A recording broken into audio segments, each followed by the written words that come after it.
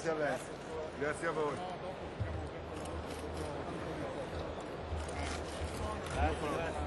Dottor Marchione, scusi. Grazie, grazie,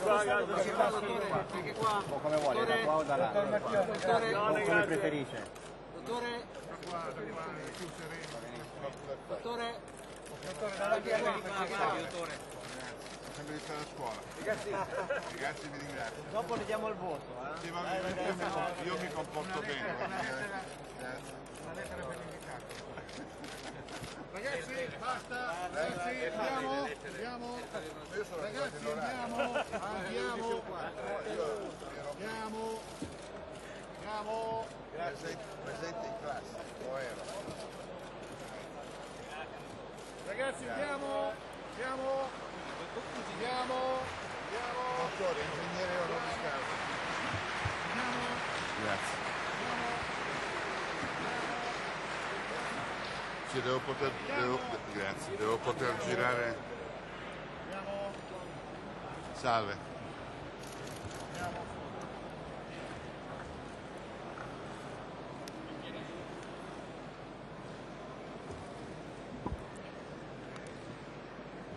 Buongiorno a tutti e benvenuti a questo attesissimo incontro con Sergio Marchionne.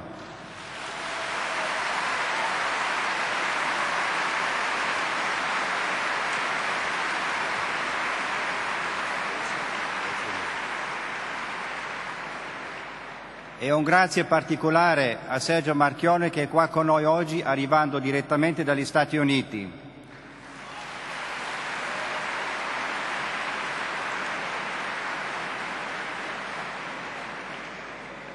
Io penso che il ringraziamento da parte del Presidente Barack Obama a Sergio Marchione è sicuramente un ringraziamento molto personale a quello che lui ha fatto, ma penso che c'è anche un pizzico di riconoscimento del sistema industriale italiano.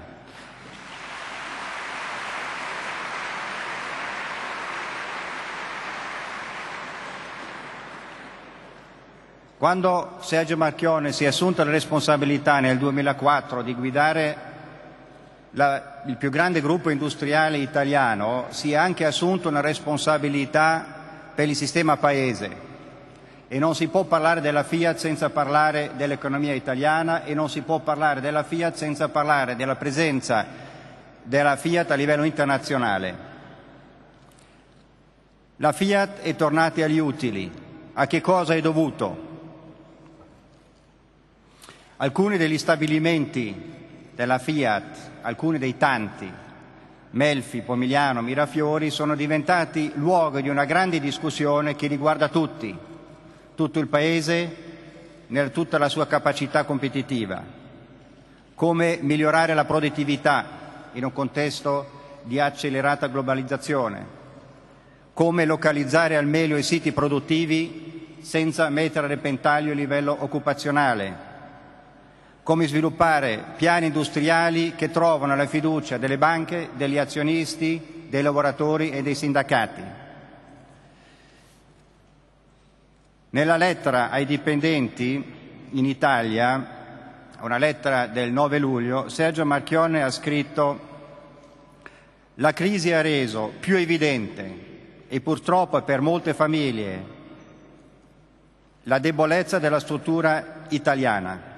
La cosa peggiore di un sistema industriale quando non è in grado di competere è che alla fine sono i lavoratori a pagarne direttamente e senza colpa le conseguenze. Quello che noi abbiamo cercato di fare, dice sempre Marchionne, e stiamo facendo con il progetto Fabbrica Italia è invertire la tendenza. Grazie di essere qua con noi e la domanda è cosa vuol dire invertire questa tendenza.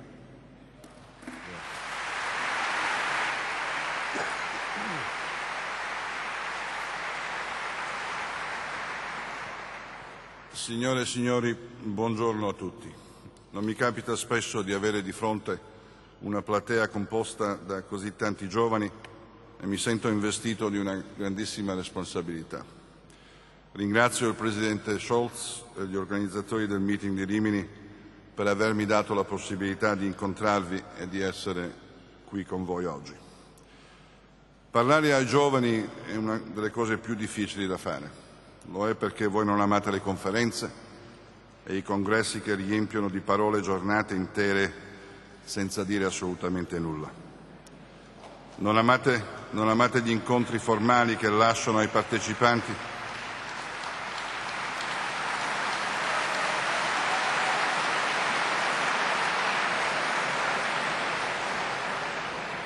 Non amate gli incontri formali che lasciano ai partecipanti poco più di un badge da esibire quasi fosse una medaglia.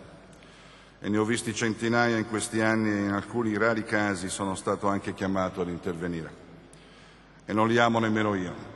E a costo di passare per rude, quello che ho sempre cercato di fare è parlare in modo chiaro e diretto, senza la presunzione di avere la verità in tasca ma con la convinzione che l'onestà intellettuale sia il modo migliore per dare il proprio contributo e per compiere insieme qualche passo avanti. Ed è esattamente questo che vorrei fare anche oggi. Vi confesso che l'intervento che avevo preparato per voi era molto diverso da quello che invece sentirete. Avrei voluto parlarvi dei grandi temi su cui la nostra società, qualunque società che voglia davvero definirsi giusta, ha il dovere di interrogarsi. Avrei voluto riflettere sul senso della globalizzazione quando porta benefici reali alle nostre vite e sul non senso della globalizzazione stessa quando non ha nulla da offrire a chi è devastato dalla violenza e dalla povertà. Avrei voluto raccontarvi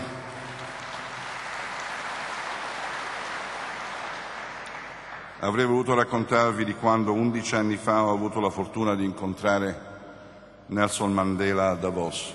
Avrei voluto condividere con voi le questioni più spinose con le quali l'umanità si deve confrontare, come sia possibile restare indifferenti di fronte allo scandalo della distribuzione della ricchezza mondiale, come sia possibile parlare di sviluppo e di benessere se gran parte della nostra società non ha nulla da mettere in gioco al di fuori della propria vita. E volevo affrontare questi temi con voi perché siete giovani e perché avete il vostro futuro in mano. Ma non posso ignorare l'importanza di quello che sta succedendo in Italia, collegato alle vicende dello stabilimento di Melfi e la gravità delle accuse che ho sentito muovere verso la Fiat. E non è mia abitudine evitare i problemi. E per questo gli eventi delle ultime 48 ore mi hanno costretto a modificare radicalmente il tenore del mio discorso, portandolo a un livello molto più locale. Ed è esattamente di questo di cui vi parlerò tra qualche minuto. Anche se il titolo del mio intervento è Saper scegliere la strada, non ho intenzione di farvi nessuna lezione. Non sono un professore, né un economista e neppure lontanamente un politico. Sono semplicemente un uomo di industria. Non so nulla delle vostre strade, del cammino che avete dietro delle spalle, alle, alle vostre spalle o dei sogni che state costruendo per il vostro futuro. E se anche conoscessi ogni piccolo particolare dovrei fare molto, molta attenzione nel consigliarvi. La strada della vita di ognuno di noi è piena di persone, di influenze, di un insieme di elementi su cui basiamo le nostre scelte. Quello che posso fare per contribuire all'incontro di oggi è condividere con voi le mie esperienze quelle che ho maturato prima da ragazzo, poi da uomo, incluse quelle che ho vissuto come amministratore delegato della Fiat. Sono nato in Abruzzo, a Chieti, a circa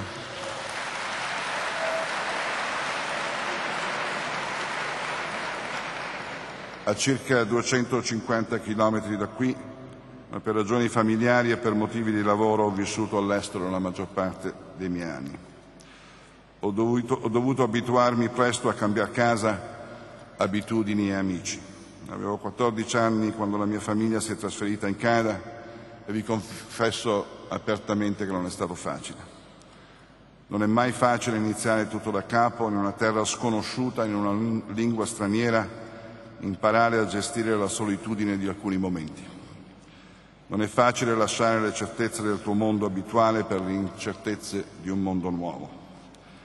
Aveva ragione Cesare Pavese quando disse che viaggiare è una brutalità, obbliga ad avere fiducia negli stranieri e a perdere di vista il comfort familiare della casa e degli amici. Ci, sen- ci si sente costantemente fuori equilibrio. Nulla è nostro tranne le cose essenziali, l'aria, il sonno, i sogni, il mare il cielo. Tutte le cose tendono verso l'eterno o ciò che possiamo immaginare di esso. Ma è proprio per questo che viaggiare, cambiare ambiente e conoscere altre culture è uno straordinario modo per crescere e per farlo in fretta. Il contatto con un mondo sconosciuto è qualcosa che ti cambia nel profondo, perché ti costringe a contare solo sulle tue forze e a superare i tuoi limiti.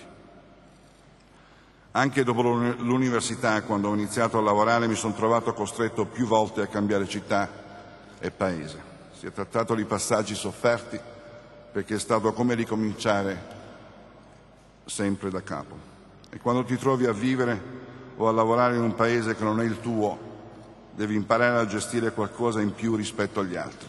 Mi riferisco alla diffidenza che ogni tanto, ogni tanto percepisci, quella che qualcuno prova verso gli stranieri. E mi riferisco anche allo stato d'animo che tu stesso provi, collegato al fatto di non avere radici in quella società e di avere invece dubbi e timori nell'affrontare un mondo nuovo. Sono tutti elementi che hanno segnato la mia storia personale.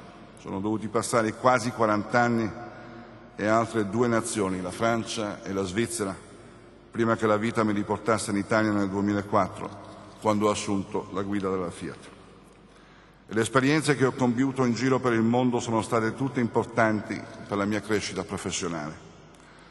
Conosco bene la realtà che sta al di fuori del nostro Paese ed è questa conoscenza che ho cercato e sto cercando di mettere a disposizione della Fiat perché non resti isolata da quello che accade intorno nel mondo.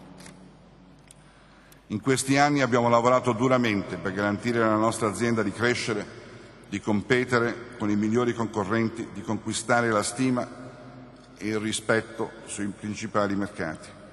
Oggi la Fiat è una multinazionale che opera e gestisce attività industriali in ogni parte del mondo. Siamo presenti in tutti i continenti e abbiamo rapporti commerciali con oltre 190 paesi.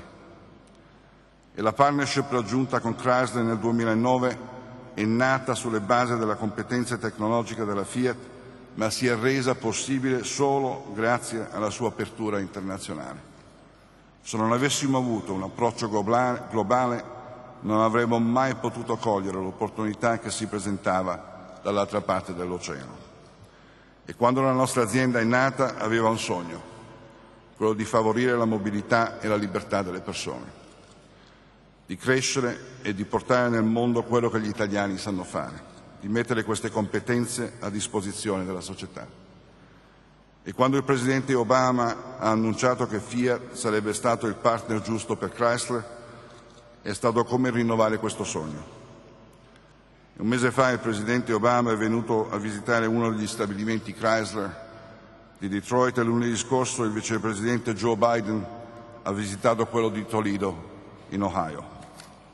Ed entrambi ci hanno fatto i complimenti per il lavoro svolto per il contributo che stiamo dando alla rifondazione dell'industria automobilistica americana, un'industria che è stata devastata dallo tsunami finanziario e da una gestione che non ha saputo ammettere la necessità del cambiamento. Queste condizioni hanno permesso alla FIA di farsi riconoscere per il proprio livello tecnologico, per l'impegno verso una mobilità sostenibile e per la capacità di portare anche negli Stati Uniti architetture e motori a bassi consumi. Non c'è dubbio che il governo americano abbia dimostrato grandissimo coraggio. Un'iniziativa che era nata con l'obiettivo di salvare centinaia di migliaia di posti di lavoro è diventata l'occasione per lanciare il New Green Deal, con cui si vuole incidere in profondità sulle abitudini dei consumatori, sostenendo l'industria dell'auto nello sforzo di ridurre i livelli di emissioni e di consumi. Fiat ha il privilegio di essere impegnata in questo processo di rifondazione dell'auto americana e siamo orgogliosi di poterlo fare, perché fa parte del nostro modo di intendere questo mestiere. A un anno di distanza dall'inizio di questo lavoro, la Chrysler è tornata a generare un utile operativo e i risultati che abbiamo presentato all'inizio del mese ci dicono che siamo sulla strada giusta. La partnership tra la Fiat e Chrysler non è solo un'opportunità di business. Fiat e Chrysler insieme stanno sicuramente unendo le loro competenze per dar vita ad un gruppo più forte, per raggiungere nel giro di cinque anni la soglia dei 6 milioni di vetture prodotte, per essere presenti su più mercati e per avere una gamma completa di prodotti. Ma Fiat e Chrysler stanno anche dando vita a un'integrazione culturale, culturale basata sul rispetto e sull'umiltà. Un'integrazione che, un'integrazione che è una straordinaria fonte di ricchezza umana. Non è facile trovare un'impresa che possa contare su un'esperienza internazionale così ampia, basata non soltanto sull'accordo con Chrysler, ma anche sulla posizione di leadership in America Latina e sulle iniziative create in Cina e in Russia. Si tratta di un bagaglio di conoscenze che fa della Fiat un punto di osservazione privilegiato per capire cosa sta succedendo nel resto del mondo, come si sta sviluppando l'economia globale e come preparare l'azienda ad affrontare un sistema completamente aperto, fortemente interconnesso ma senza confini geografici o economici. Sfortunatamente ho l'impressione che in Italia non ci siano interesse né fiducia verso questo straordinario bacino di informazioni. O forse più semplicemente non ne vogliamo sapere perché ci manca la voglia o abbiamo paura di cambiare. Molto spesso le ragioni del declino sociale ed economico di un Paese hanno a che fare con ciò che non abbiamo saputo o voluto trasformare, con l'abitudine di mantenere sempre le cose come stanno. Questo è stato per tanto tempo anche anche il grande male della Fiat. Quando sono arrivato nel 2004 ho trovato una struttura immobile chiusa su se stessa che prendeva come base di riferimento i propri risultati invece delle prestazioni della concorrenza. Aveva perso la voglia e l'abilità di competere e di confrontarsi con il resto del mondo. Questo purtroppo è anche il rischio che corre il nostro Paese. Basta pensare a quanto è basso il livello degli investimenti stranieri, a quante imprese hanno chiuso negli ultimi anni e a quante altre hanno abbandonato l'Italia per capire la gravità della situazione. La crisi ha reso più evidente, purtroppo per molte famiglie, anche più drammatica la debolezza della struttura industriale italiana. La cosa peggiore di un sistema industriale quando non è in grado di competere è che alla fine sono i lavoratori a pagarne direttamente e senza colpa le conseguenze. Quello che noi abbiamo cercato di fare e stiamo facendo con il progetto Fabbrica Italia è quella di invertire questa rotta. Il piano presentato quattro mesi fa dimostra il nostro impegno per concentrare nel Paese grandi investimenti per aumentare il numero di veicoli prodotti in Italia e far crescere le esportazioni. E per realizzare questo progetto è assolutamente indispensabile colmare il divario competitivo che ci separa dagli altri paesi e portare la Fiat a quel livello di efficienza necessario per garantire all'Italia una grande industria dell'auto e a tutti i nostri lavoratori un futuro più sicuro. Conosciamo bene le regole dei mercati. Il loro andamento è determinato dalla domanda e dall'offerta e trovano il loro equilibrio all'incrocio di queste due funzioni. Nella ricerca di questo equilibrio non adottano principi etici e non sono condizionati da fattori o da legami emotivi. E se lasciassimo il mercato libero di agire alla sua maniera, le prospettive per la Fiat in Italia non sarebbero buone. La verità è che l'unica area del mondo in cui l'insieme del sistema industriale e commerciale del gruppo Fiat è in perdita è proprio l'Italia. Lo è quest'anno come lo è stato l'anno scorso. Fabbrica Italia è nata per cambiare questa situazione e per sanare le inefficienze del nostro sistema industriale. È nata dalla nostra volontà di trasformare l'Italia in una base strategica per la produzione e per l'esportazione delle vetture. L'unica cosa di cui abbiamo bisogno è la garanzia che gli stabilimenti possano lavorare in modo affidabile, continuo e normale. Non c'è niente di straordinario nel voler adeguare il sistema di gestione a quello che succede a livello mondiale. Eccezionale semmai per un'azienda è la scelta di compiere questo sforzo in Italia, rinunciando ai vantaggi sicuri che altri paesi potrebbero offrire. Ciò di cui c'è bisogno è riconoscere la necessità di cambiare, di aggiornare un sistema che garantisca alla Fiat di continuare a competere. Quella, stiamo, quella alla quale stiamo assistendo in questi giorni è una contrapposizione tra due modelli, l'uno che si ostina a proteggere il passato e l'altro che ha deciso di guardare avanti. Non so quali siano i motivi di questo scontro, se ci siano ragioni ideologiche o altro. Quello che so è che fino a quando non ci lasciamo alle spalle i vecchi schemi non ci sarà mai spazio per vedere nuovi orizzonti.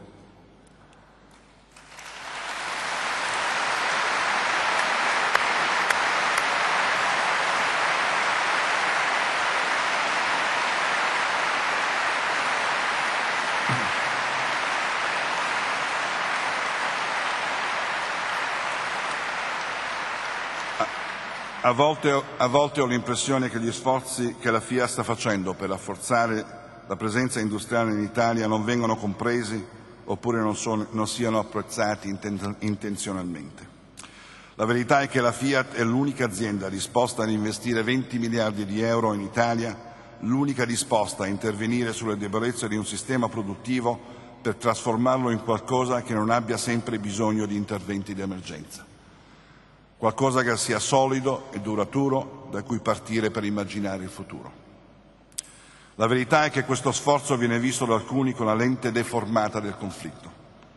Non siamo più negli anni Sessanta. Non è possibile gettare le basi del domani continuando a pensare che ci sia una lotta tra capitale e lavoro, tra padroni e operai.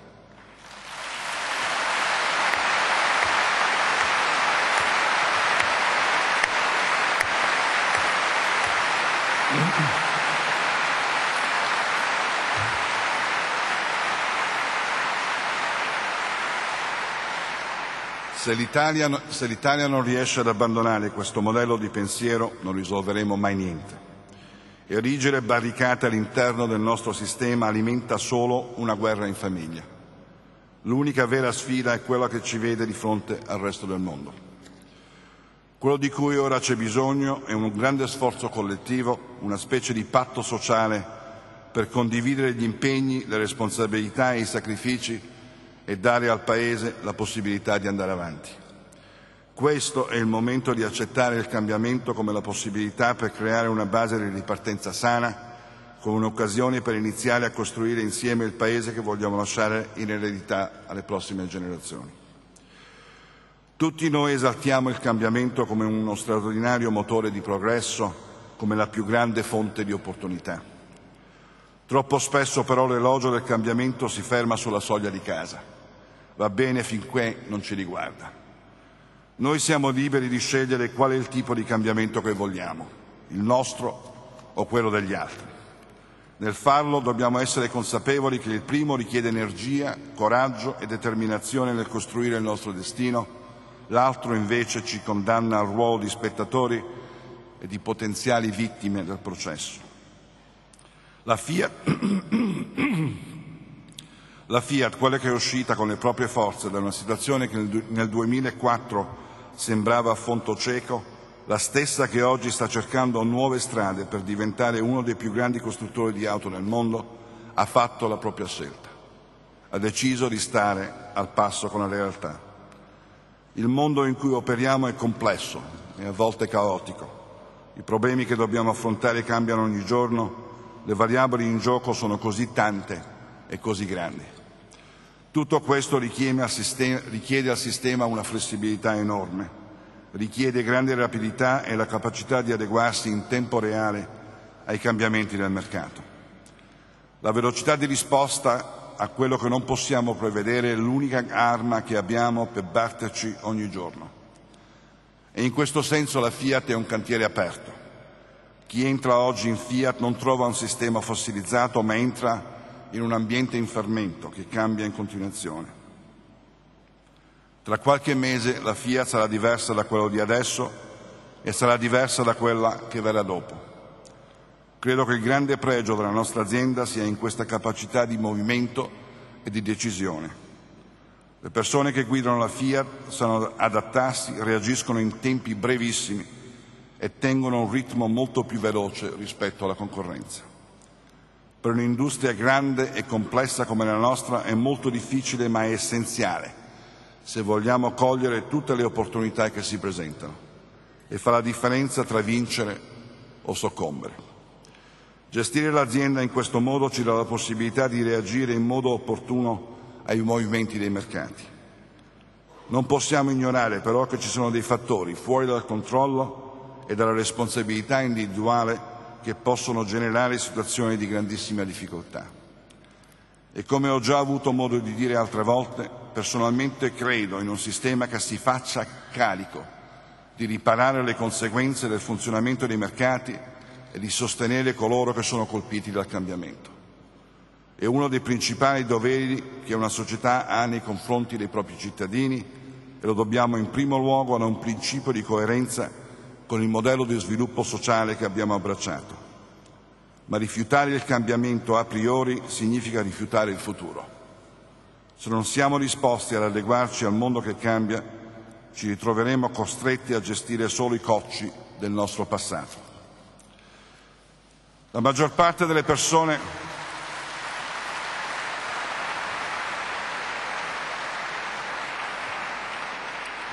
La maggior parte delle persone che lavorano in Fiat ha compreso e ha apprezzato l'impegno che abbiamo deciso di assumere in Italia. Eppure ho sentito accuse assurde e infinite polemiche che non voglio certo alimentare. Sento però il dovere di difendere non soltanto la serietà del nostro progetto, ma anche le ragioni di chi ha abbracciato questa sfida e chi ha voglia di fare qualcosa di buono. Mi riferisco in particolare alla CISL e alla WIL e ai loro segretari generali Raffaele Bonanni e Luigi Angeletti.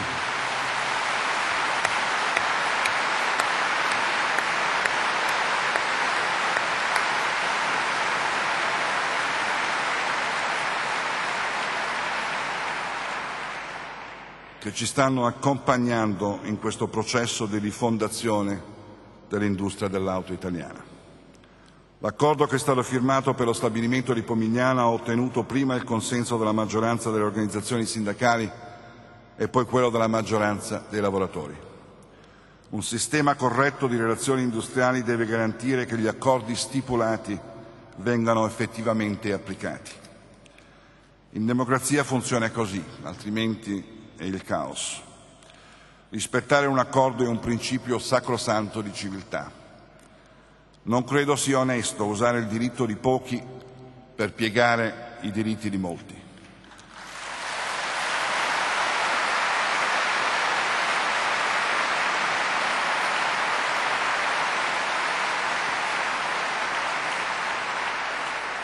Ed è, ed è quindi inammissibile tollerare e difendere alcuni comportamenti come la mancanza di rispetto delle regole e gli illeciti che in qualche caso sono arrivati anche al sabotaggio. Non è giusto nei confronti dell'azienda, non è giusto nei confronti dell'azienda, ma soprattutto non è giusto nei confronti di tutti gli altri lavoratori.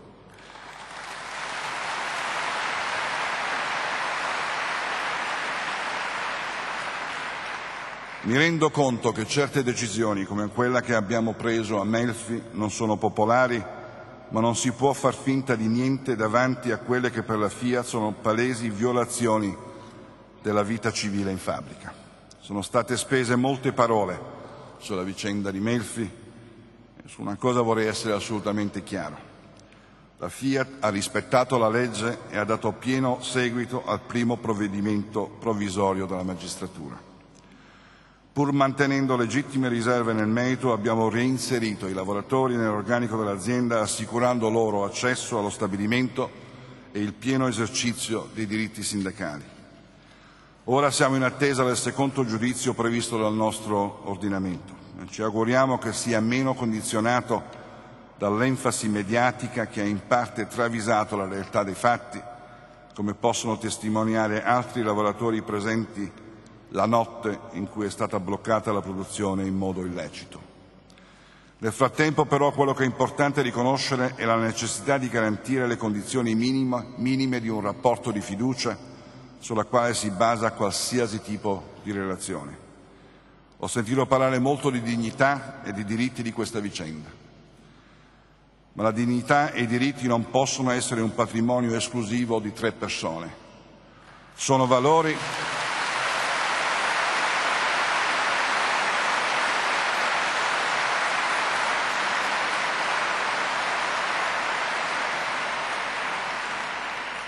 Sono valori che vanno difesi e riconosciuti a tutti. La responsabilità che abbiamo è anche quella di tutelare la dignità della nostra impresa e il diritto al lavoro di tutte le altre persone. E di sicuro accuso, accuse che considero pretestuose da una parte del sindacato non aiutano a mantenere un clima sereno, una condizione che è assolutamente necessaria per sviluppare gli ambiziosi programmi di cui ci stiamo facendo carico. La Fiat non pretende di essere salutata ogni giorno con le fanfare, come è successo quando siamo tornati dall'America con i 2 miliardi di dollari della General Motors o quando il Presidente Obama ha annunciato l'accordo con Chrysler. Ma non troviamo giusti nemmeno i fischi gratuiti. I valori su cui abbiamo rifondato l'azienda sei anni fa sono rimasti esattamente gli stessi. Mi riferisco alla correttezza, all'integrità, ad un approccio responsabile nella gestione del business. Fabbrica Italia è nata su questi presupposti. È un progetto che proviene dal cuore della Fiat, non certo da un calcolo di convenienza. Decidere di portare la nuova Panda a Pomigliano non è stata una scelta basata su principi economici e razionali. Non era e non è la soluzione ottimale da un punto di vista puramente industriale o finanziario. Sarebbe stato infatti molto più conveniente lasciare le cose come stavano e confermare la futura Panda in Polonia dove è stata prodotta negli ultimi sette anni con livelli di qualità eccezionali. Lo abbiamo fatto considerando la storia della Fiat in Italia, quello che è sempre stata per, il, per l'azienda, quello che da sempre rappresenta e il rapporto privilegiato che ha con il Paese. Lo abbiamo fatto perché nel limite del possibile e senza pregiudicare la solidità della nostra azienda riteniamo sia un nostro dovere privilegiare il Paese in cui la Fiat ha le proprie radici.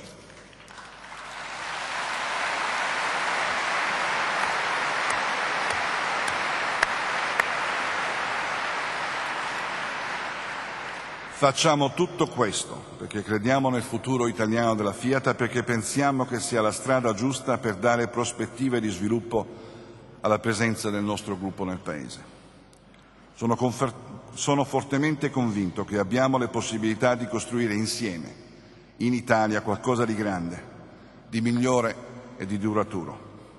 Fabbrica Italia è un grande pro- progetto perché nasce da nobili intenzioni e per questo abbiamo un grandissimo dovere di proteggerlo. Non siamo interessati ad andare in televisione a sbanderiare, sbanderiare le nostre ragioni come hanno fatto altri. Non intendiamo farci coinvolgere in teatrini o telenovele per giustificare un progetto di valore e di qualità. Non vogliamo che tutto quello che abbiamo costruito finora sia macchiato da argomentazioni pretestuose o da giochi politici che non c'entrano nulla con la volontà, volontà fondamentale di fare qualcosa di buono. Tutto ciò non aiuterà mai la Fiat a diventare un costruttore forte in grado di competere con i migliori nel mondo. E pensiamo sia più utile usare il tempo che abbiamo a disposizione per lavorare a rendere reale la nostra visione. E in questo in questo vorrei che fosse riconosciuta anche la dignità del mestiere dell'imprenditore. La responsabilità associata ai suoi compiti è enorme. Penso ai rischi che si assume, agli impegni che prende, agli sforzi che compie per aprire la strada ad uno sviluppo internazionale dell'azienda e all'impatto che le sue scelte possono avere sulla società. È una responsabilità che dovrebbe meritare, se non stima, almeno rispetto.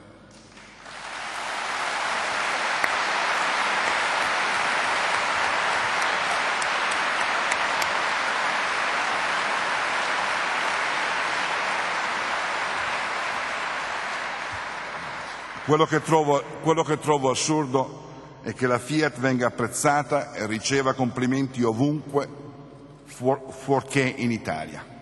La Fiat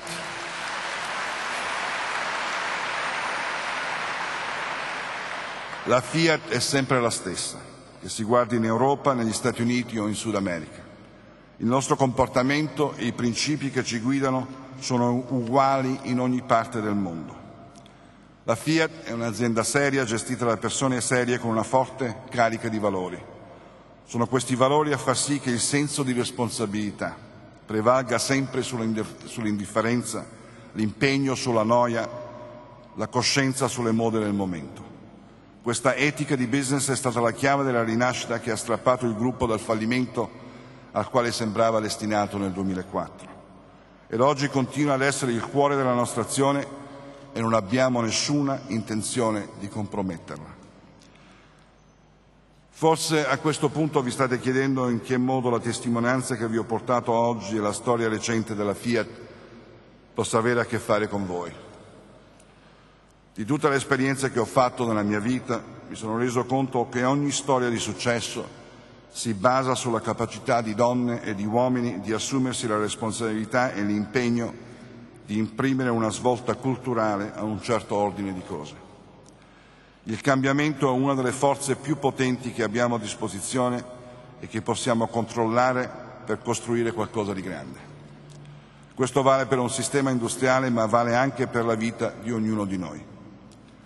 L'invito che posso fare a voi oggi, giovani, è quello di prepararvi ad entrare in un grande processo di costruzione, di prepararvi a far parte della squadra che darà forma al futuro.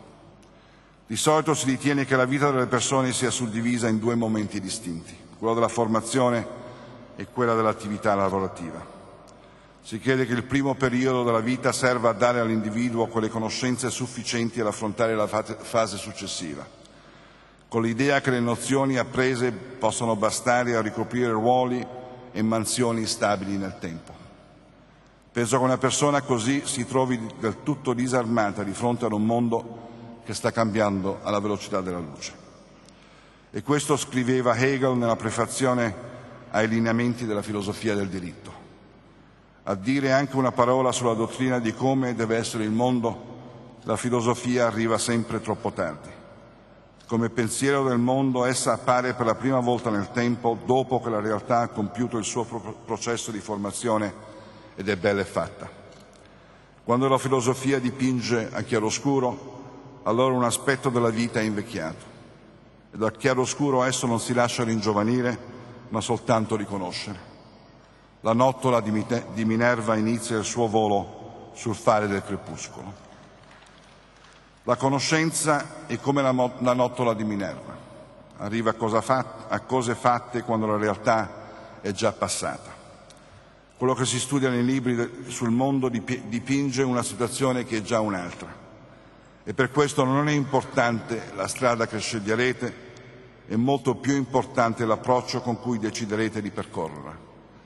Se c'è una cosa che ho imparato in tutti questi anni è che la prima garanzia che dobbiamo conquistarci per poter scegliere è la libertà. Essere liberi significa avere la forza di non farsi condizionare, essere liberi vuol dire anche trovare il coraggio di abbandonare i modelli del passato, le, vecchie abitudini e le dipendenze.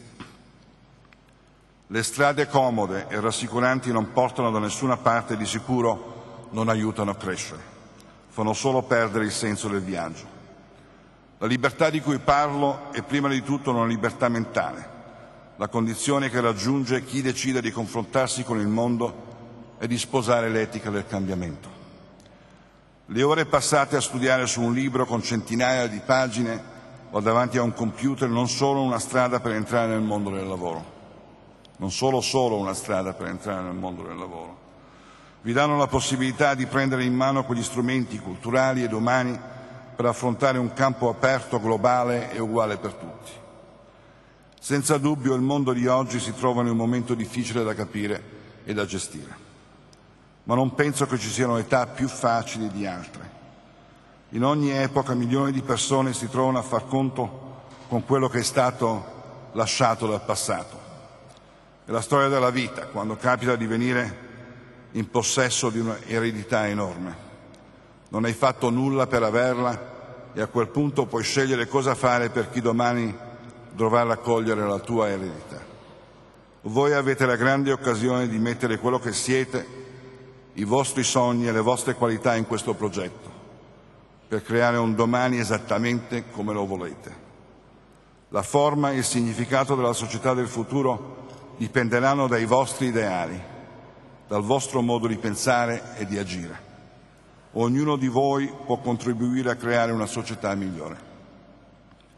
Questa è la vera sfida che ci aspetta. L'uomo che segue il proprio comodo è condannato a vivere in una prigione che si è costruito da solo, dove i muri sono troppo alti e troppo spessi per far passare l'aria o vedere la luce. Chi guarda solo se stesso non sarà mai una persona libera perché non ha altro spazio se non quello limitato e fragile di uno specchio. La vera libertà esiste solo nell'impegno e penso che questo sia anche il senso del titolo del vostro meeting, che richiama molto da vicino quello che lo stesso Hegel disse sulla natura umana. Nel mondo nulla di grande è stato fatto senza passione. Credo che sia anche l'unico modo per trovare una realizzazione personale e dare un significato più profondo alla nostra vita.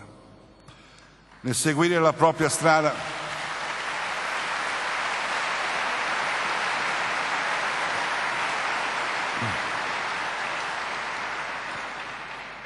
Nel seguire la propria strada la responsabilità di ogni individuo, di ognuno di noi, è enorme.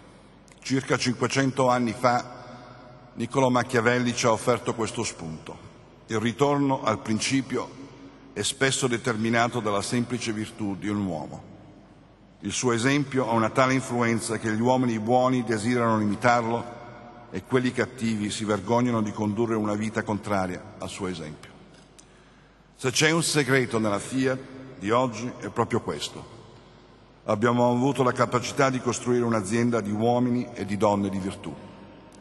Sono persone che sentono il peso della responsabilità di ciò che fanno, che agiscono con decisione e con coraggio, che non si tirano indietro quando si tratta di dare buon esempio. Sono persone che sanno che solo una condotta morale può assicurare merito a dignità a qualunque risultato. E questo è l'augurio con cui vorrei lasciarvi. A prescindere dalla strada che sceglierete, auguro ad ognuno di voi di diventare come la persona descritta da Machiavelli, uomini e donne di virtù. Grazie a tutti per l'attenzione.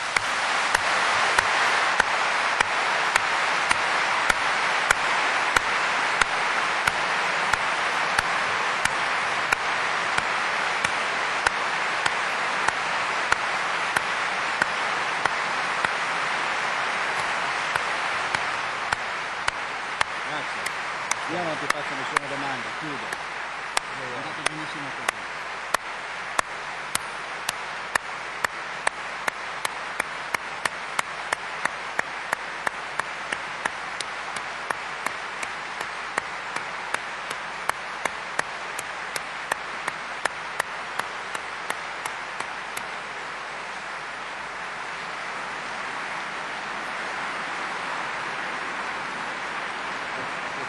Eh? Io ringrazio Sergio Marchionne prima di tutto per l'invito che ci ha fatto partendo dalla sua esperienza personale di allargare il cuore, di conoscere il mondo e di concepire la vita come un'avventura, perché penso questo sia la condizione per tutto il resto. E poi ha fatto un invito a tutti noi che penso sia importante, superare il pregiudizio che un aumento di produttività, della quale abbiamo tutti bisogno per poter competere a livello internazionale, stia per forza in contraddizione con l'umanità, che esiste invece la possibilità di creare insieme, tutti insieme, un sistema produttivo che sia espressione di un'umanità libera e responsabile.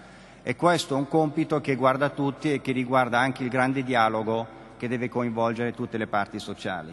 Io permetto, mi permetto di aggiungere solo una domanda. Eh, qua la stragrande maggioranza di tutti voi che siete qua presenti lavora nelle piccole e medie imprese che sono la spina dorsale di questo Paese. Noi sappiamo bene che la grande industria è un traino che aiuta anche le piccole e medie imprese nella loro crescita e nel loro posizionamento internazionale. Al contempo sappiamo che tanta innovazione nella grande industria è proprio partita dai piccoli e io sono personalmente convinto che il futuro, soprattutto del sistema economico italiano, stia in una partnership fra le piccole e medie imprese e la grande industria. E vorrei chiedere a Sergio Marchionne qual è la strada per migliorare in futuro questa partnership e quindi migliorare il sistema di questo Paese. Eh, la domanda è estremamente complessa.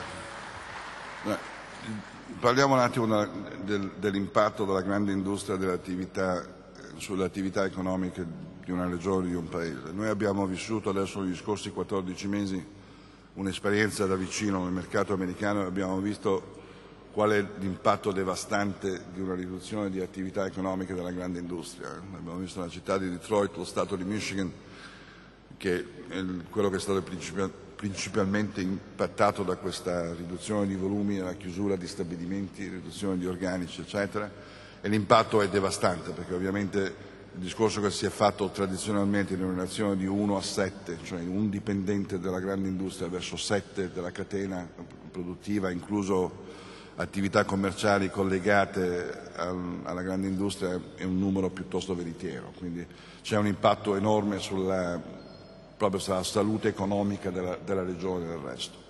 La seconda parte della domanda che ha fatto per quanto riguarda il rapporto tra le piccole e medie imprese e la FIAD è un discorso estremamente importante da portare avanti. Una delle cose che infatti su cui stiamo lavorando con il Tesoro americano, perché in effetti hanno riconosciuto la grandissima possibilità che questa, che questa realtà economica delle piccole e medie industrie diventi un, un bacino di innovazione che è mancata alla grande industria che in certi casi è fossilizzata da vecchi sistemi e da tradizioni che ormai non sono più valide.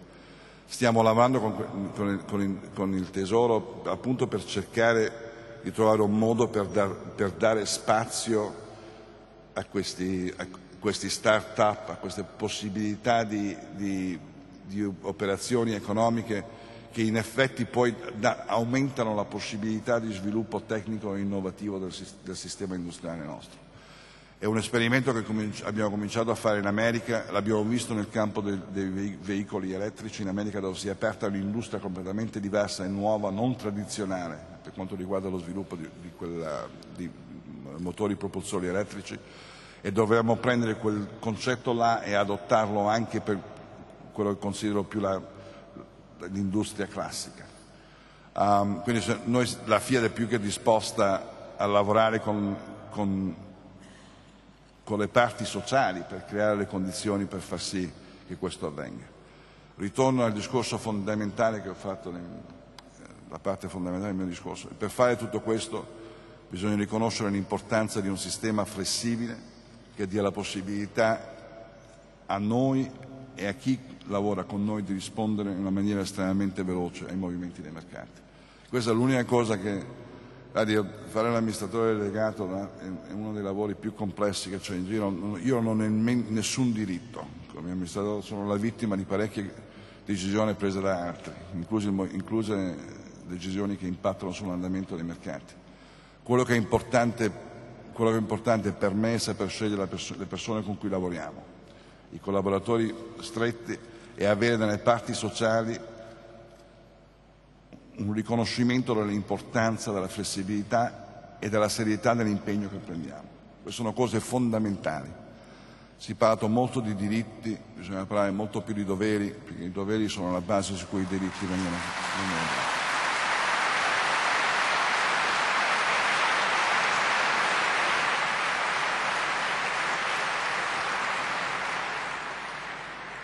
Bene, io penso che fino a qualche anno fa si è sempre paragonato con altri paesi più avanzati nel sistema industriale, nei rapporti sociali. Io penso che da qualche mese in poi si può dire che non c'è più una grande differenza fra gli altri paesi europei e nel, fra l'Italia nella, nel cercare di stabilire dei rapporti sociali che aiutano veramente a aumentare la produttività e quindi dare, questa è la cosa che più ci interessa, un lavoro a più persone possibile. Io ringrazio Sergio Marchioni di essere stato qua con noi per la sua chiarezza, la sua trasparenza e spero che l'impulso della FIA giova a tutti noi. Grazie.